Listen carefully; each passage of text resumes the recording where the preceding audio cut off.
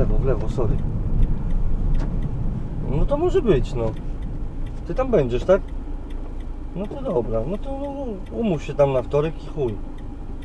Bo ja nie wiem, czy ja jutro będę robił w firmie, czy pójdę do tamtego robić, nie?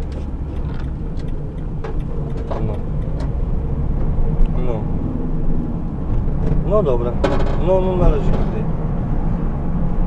I ten. I chłopie, kurwa, oni te pistolety, ja miałem tu w podszewce. Bluzie, kurwa, lufę. I te zioło. Człowieku, gościu mnie obszukuje, obszukuje, obszukuje, chuj nic nie znalazł. Ja już taki trochę bardziej, wiesz, wyluzowany, bo mówię, to za piwo mandat będzie, nie? A jebana zaświeciło latarko na mnie, mówi, zobacz, on tutaj coś ma.